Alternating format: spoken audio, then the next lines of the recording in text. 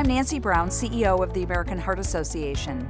It's the season for giving thanks, and we are especially thankful for you, our passionate, dedicated volunteers, donors, and supporters.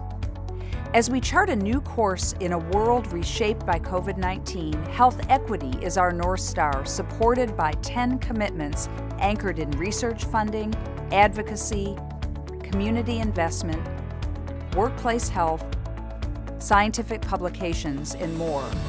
Following an unprecedented year, we emerged bolder and better because of your commitment. Thank you for standing with us when the world needed us most.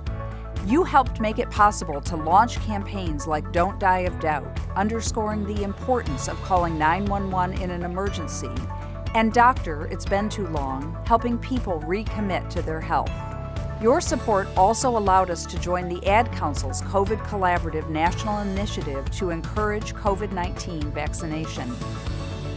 Science is our foundation, and you have been there on the journey of establishing strategically focused research networks. Our focus in health technologies, hemorrhagic stroke, and cardio oncology, and funding studies in women's heart health, hypertension, heart failure, teen vaping, and brain health is making an extraordinary impact. You also help the AHA address health disparities in communities of color and rural populations with investments in local organizations that increase access to nutrition, housing, mental and physical health care, education, and economic opportunity. None of this is possible without you. From all of us at the American Heart Association, thank you for joining the mission as a relentless force for a world of longer, healthier lives. You are the heartbeat of the American Heart Association.